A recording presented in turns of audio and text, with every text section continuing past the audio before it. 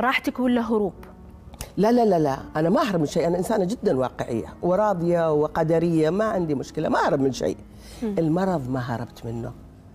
لما الله أنعم علي وابتلاني بهذا البلاء الجميل مرض السرطان بعيد عنكم السامعين ويشفيك المريض تقبلته برضا وسجدت مثل ما سجدت لما توفى زوجي.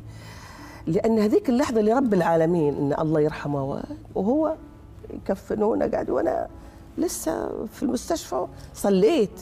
الناس يقولوا صلت وهاي ما بكت. لربي لأني عانيت معاه سنة كاملة أنا أشوف حالته. فتشبعت نزلت الدموع وبكيت. بس ما كنت ابين له ابدا. أذهب بعيد يجي يشوف عين حمراء أقول له من البرد. البرد يجيب بس المهم يعني أخبي.